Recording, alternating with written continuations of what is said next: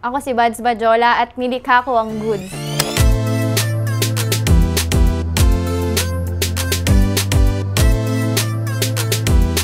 Nag-start yung goods recently lang. Actually, 2018 Feb. Kilala ko as Bads. So, parang inis lang konti. So, goods naman. Dahil naman, di ba, syempre, iba't ibang items. Parang goods din yan. Pinush ko na talaga yun. In-establish ko ng goods to. Actually, hindi ko talaga siya pinlano. Hindi ko siya na-imagine na gagawin ko to.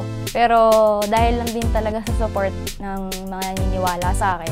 Friend ko si Nick, tapos siya yung mismo nag-push sa akin na gawa ako ng, mag-handpaint ako ng ano, coin purses. Yan, yung canvas coin purses.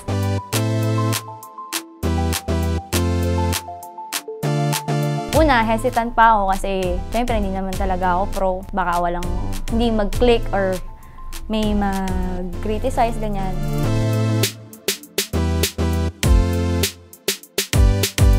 So, yung mga design ng goods, actually, minsan, kung ano yung nafe-feel ko, kung ano yung mood ko, kung ano yung gusto kong i-express artwork or mismong style ko, gusto ko sanang um, i-share para dun sa mga magiging magpa-purchase ng goods.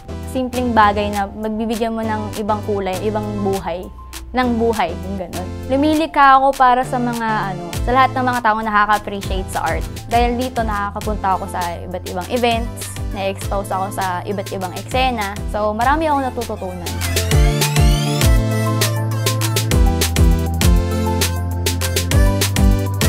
Nawala yung self-worth ko nung mga nakaraan kasi parang nape-pressure ako lalo na sa para sa family ko kasi baka hindi ako makapag-provide sa kanila ganyan. Pero dahil dito, parang nagkaroon ako ng bagong self-worth or purpose sa buhay ko. Meron akong may bibigay na may contribute Para dito sa mga taong naniniwala sa akin, nagpupush sa akin na pagpatuloy ko lang na lumikha lang ako ng lumikha. And then, dun din sa mga taong hindi naniniwala sa akin, yung mga nagda-doubt na wala kang papala dyan. So para sa nila, ma-prove ko na ano ka makukuhang mabuti sa art. Um, walang makakapigil talaga sa akin na lumikha pa ng mas marami pang artwork kasi nasa dugo ko na siya, parang nasa sistema ko na. Hindi na yun mawawala.